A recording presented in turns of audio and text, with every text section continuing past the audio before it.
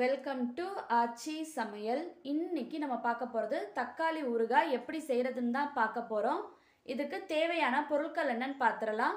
ஒரு கிலோ தக்காளி நல்லா பழுத்த தக்காளியாக எடுத்துக்கணும். இதை நல்லா கழுவிட்டு ஈரம் போக தொடச்சி எடுத்து வச்சுக்கணும்.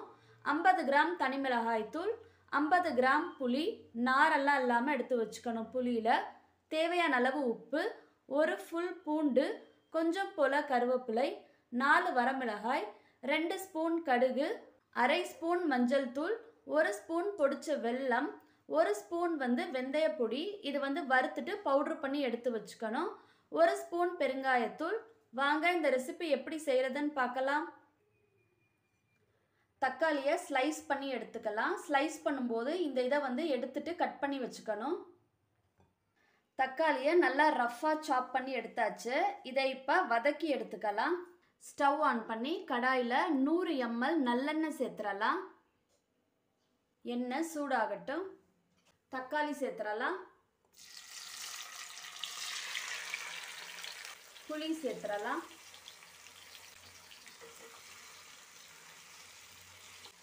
கலந்து விட்டுறலாம். எண்ணெயிலேயே தக்காளியும் புளியும் நல்லா வதங்கி வரட்டும். இது வதங்கி வர்றதுக்கு இருபது நிமிஷம் வரைக்கும் ஆகும்.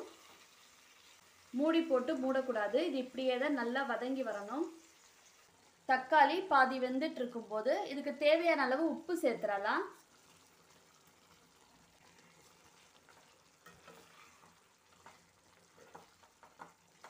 வேகட்டும்.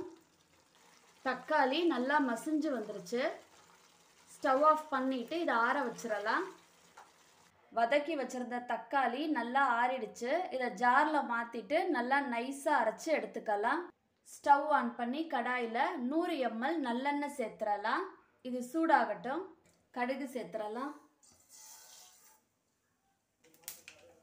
கடுகு நல்லா பொரிஞ்சு வரட்டும். வரமிளகாய் ஒன்று ரெண்டாக பிச்சுட்டு சேர்த்துக்கலாம். கருகிடக்கூடாது பூண்டு பல் சேர்த்துடலாம் பூண்டு பல்லாம் ஒன்று ரெண்டாக தட்டிட்டு சேர்த்துக்கணும். கருவேப்பிலை சேர்த்துடலாம்.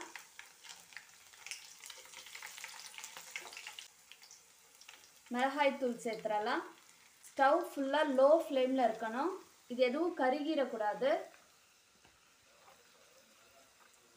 அரைச்சி வச்சுருக்க தக்காளி பேஸ்ட்டு சேர்த்துடலாம்.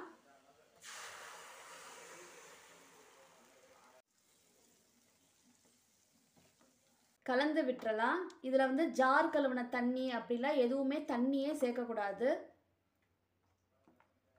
மஞ்சள் தூள் சேர்த்துடலாம் பெருங்காயத்தூள் வெந்தயத்தூள் சேர்த்து கலந்து விட்டுறலாம்.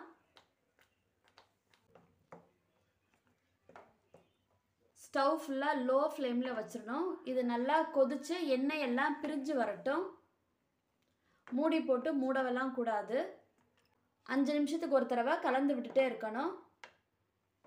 இல்லைனா தெரித்து வெளியில் ஃபுல்லாக வத்துட்டே இருக்கும் நமக்கு. எண்ணெய் கொஞ்சம் கொஞ்சமாக பிரிஞ்சு வர ஆரம்பிக்குது. வெல்லம் சேர்த்துடலாம். உரப்பு வந்து நல்லா சாப்பிடுவீங்க அப்படின்னா இன்னும் கொஞ்சம் கூட மிளகாத்தூள் சேர்த்துக்கலாம்.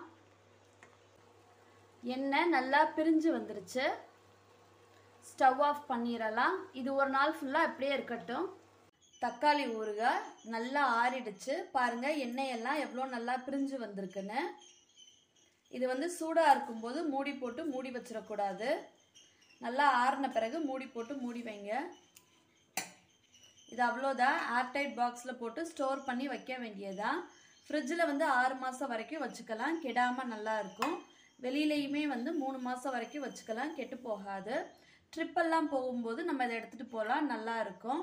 இது இட்லி சாதம் சப்பாத்தி தோசை இது எல்லாத்துக்குமே ரொம்ப நல்லா இருக்கும். தக்காளி விலை கம்மியாக இருக்கும்போது இந்த ரெசிபி செஞ்சு எடுத்து வச்சுக்கலாம்.